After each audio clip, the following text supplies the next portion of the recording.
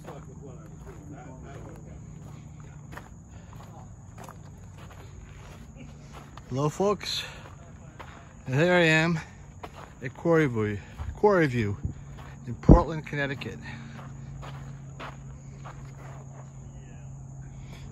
It's one of my favorite spots since I moved up here. Right now I'm on the uh, grounding path, also known as the Peace Trail, which was just recently created. And uh, we're looking out at the Adventure Park part of these old abandoned quarries. They say the water, the depth of the water is up to 90 feet. Further on you see there's places you can zip line and jump off cliffs and everything. It's really cool. But the real focus of this video is about Quarry View. This is a sculpture park kind of a nature, spiritual retreat um, that was built by some friends I met here, uh, Dean and Darlene. As you see, they've there's a lot of tools from the days of quarrying, bottles as well. And uh, what's the deal with all these brown stones? Well, this is brown stone, which of course, if anybody knows anything about New York and Brooklyn especially, those fancy brownstone townhouses, which are very desirable now to rent, are, are basically built from the quarry, built from this quarry.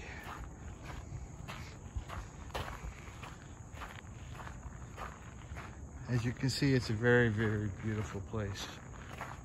I'll talk more about its history and stuff as we go, proceed down the Peace Trail.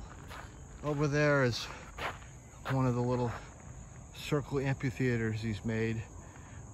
and uh, on twice a week throughout the warm weather, even even through the uh, brisk fall weather, there's drum circles that are held here, which I'll tell you about more later. And when it gets a little cool in the back, the main circle, yeah, the drum circles are held here up front.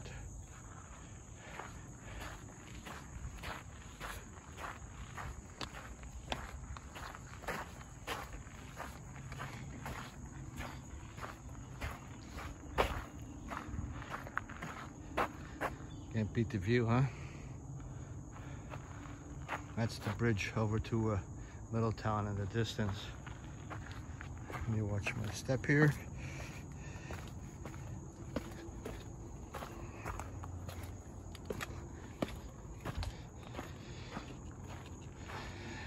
So,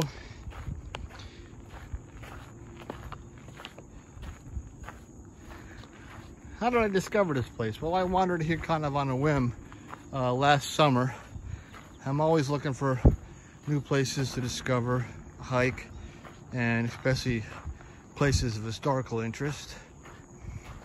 And uh, I kind of searched on Google, found this place, came down, and and it was just lovely. I met uh, Dean and Darlene, the owners of this place, and we we hit it off. And he told me all about his vision and uh, I've been occasionally coming here for the drum circles off and on uh, since that, that, that day.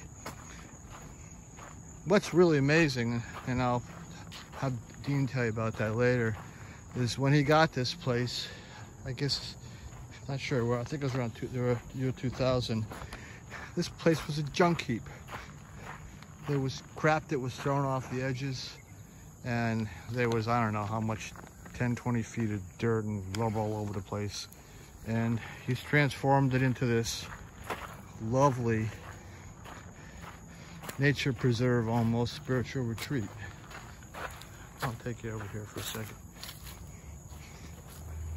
Sometimes he pumps water here. It's a little bit of a, lake fountain.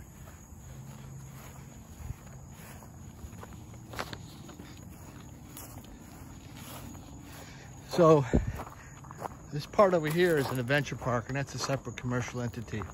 Uh, the Quarry View is basically uh, from the Peace Trail, which I've just came back on, back to the edge here.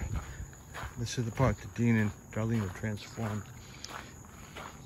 During the quarry's heyday, which was around in the 1850s, the quarries here employed over 1,500 people and more than 25 ships transported stone from the nearby Connecticut River to cities across the United States, even to Canada in, in England.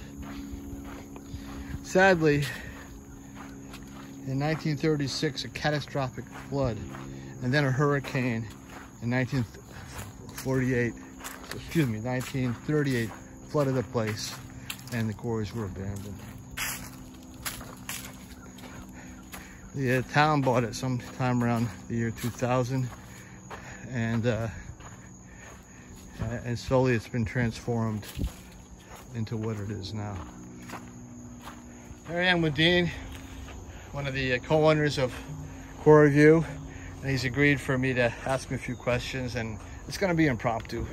So uh, you get a little uh, history from him, and also uh, a lot of, of his vision and how, how wonderful it is. So my first question is, um, what was this place like when you first got it? Well, I think that's why we picked this spot right here. This was actually, um, when we came in here, it took us two hours to basically walk to this spot where we're at from the road. And it was literally a jungle. The only cleared area was way up front where the driveway was. Mhm.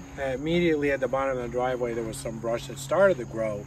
But what we call Jurassic Park, halfway down here, this was um, probably nobody can back here for at least, well, it's been closed for 80 years. I believe that nobody came back here for at least uh, 40 or 50 years. So uh, the gentleman that worked here in 1992 to uh, 2012, um, he uh, never stepped foot in this back section of the property. So he was here for 20 years and never. Yeah, he was still quarrying stone, right? He was cutting stone. Yes. Cutting stone. He rented the property from the lady that lived up on top, Okay. and then he worked. He always wanted to come back here to expand his operation, but the town wouldn't let him do it. Okay. Yeah. Uh, so my next question is, um, I know uh, you had this property since when was that? Uh, 2019. When did you start the drum circles? So I think it Yeah, would have been uh, the year after. Be, uh, let's see, 2019. We came back in September, October. Yeah, I think it was the year after. Mm-hmm. um, because that particular year, uh, yeah, because winter was coming, so we got we owned the property for at least six months before we made it back here. That's how bad it was. so then once we came back here was the process of removing all the garbage and stuff that we found. And uh, so one of my videos on my Facebook page, when I looked at it first, my impression was was you know you hear me say it's going to take me two years to clean it. Obviously didn't, but it was uh, pretty bad. So there was like, how much? Like a couple feet or more of Well, rubble? up against the wall where it was close to where the people from up above, uh, it was it was hard to tell because the garbage was piled up and then debris would fall on top of it, would compost. Um, so as you dug into it, it was just nothing but garbage. Um, literally, people would throw stuff off. Oh right? yes, uh, yeah. So uh, we're not going to talk about what was there because some of those people are still around and they're, they're not happy about it. But uh, the thing was is that the remarkable thing is the actual quarry at one time the town literally considered purchasing it and filling it with garbage and making a dump out of it. Oh wow. So I couldn't even imagine that. And the stories I've heard when uh, people that were in the area that had businesses, they would just pull up and they would unload their garbage and would just go in the water. And um, so a lot of that stuff landed on our property. We had a lot of tires, milk crates, and shopping carts and furniture, and and we still have the motorcycle that we saved. Um, Yeah, that just recently got moved up for display. yeah. I was- didn't want to touch it. I left it in the same spot that it was when we first came here. But um, as we were cleaning up and everything else, it was getting lost in the debris. and uh, I felt that it was more of a trophy for than anything else. So I now I have it on display. That's really cool. Uh, so there's been a lot going on here besides the drum circles. I know there's been a mo movie. Uh, you have a craft fair, even Yeah. wedding ceremonies. Kind of So talk a little the- bit about that. the uh, weddings. So COVID actually for us probably helped us. Um, most businesses would have suffered during COVID, and probably my business would have too. I quit my job when we bought this property. Uh, we just saw something here, it took me over, and decided that I was going to clean it, and I knew it was going to take me years to do it, and I figured it was going to be a full-time job, which it is. Um, COVID, what it did for us was uh, nobody could travel at the time, so there was an app on the phone that you could get Hipcamp, and all of a sudden, I just signed up for it, and we had people starting to come in every week, you know, and uh, As campers? because or- yep, because they had nowhere to Okay. go. Uh-huh. Um, people are traveling out of state, couldn't go to campgrounds. So uh, we were able to bring a couple in at a time and Mhm. everybody was separated. And from there, we still keep it light. We like to have just uh, uh, to give people experience of the quarry. We feel that you're camping in a museum. And that's um, really the goal here is not to fill it with a bunch of people to preserve what's here. So uh, that that was a big help. And then uh, the Netflix filming uh, was right here on this patio. Um, Now, what is what is that film about? You know, that's uh, Stephen? King's. It's based on Stephen King's book, uh, Mr. Harrigan's Phone.